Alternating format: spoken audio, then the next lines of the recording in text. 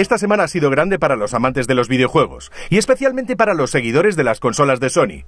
A los anuncios que pudimos ver en The Game Awards se une ahora el tsunami que ha supuesto la PlayStation Experience. Destaquemos los principales anuncios de la jornada. Para empezar, se anunció el primer contenido adicional de Uncharted 4, El desenlace del ladrón.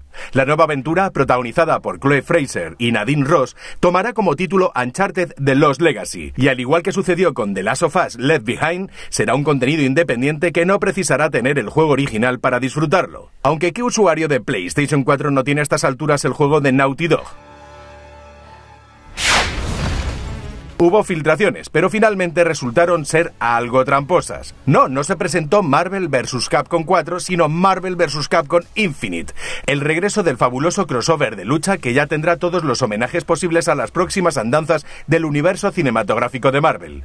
Y de regalo, Marvel vs. Capcom 3 se ha publicado desde hoy mismo para PlayStation 4.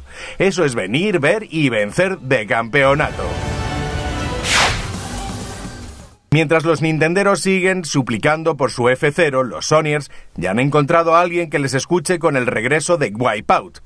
Aunque el juego de carreras futuristas no tendrá una nueva entrega de momento, sino una remasterización de las buenas de sus juegos más aplaudidos. Otro que vuelve remasterizado y lo hace con un aspecto que jamás habríamos soñado es el marsupial más querido por todos los jugones, Crash Bandicoot. Los principales juegos de la era de la primera PlayStation volverán tres generaciones después para gozo de los nostálgicos y divertimento de los que han llegado ahora a la ciudad videojuegos. Una muestra de lo que hacía Naughty Dog antes de que Nathan Drake, Ellie o Joel se convirtiesen en nuestros dioses.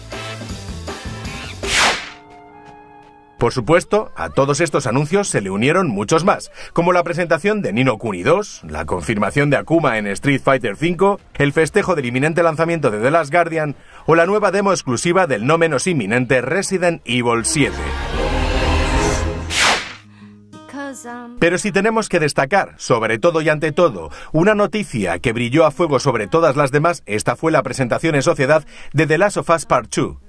El juego de Naughty Dog ya es un proyecto público y se une a todos los megaproyectos AAA que ya presentaron en el pasado E3 para salir en algún momento futuro, suponemos no muy cercano. Si no teníamos suficiente con tener las expectativas puestas en Days Gone, Horizon, God of War o el Spider-Man de Insomniac, Ahora tenemos que enfocar el hype al que desde ya podemos considerar como nuestro futuro lanzamiento favorito, el que supone el regreso de Ellie, nuestra Ellie, un poco más mayor, en un mundo en el que sobrevivir es algo casi imposible.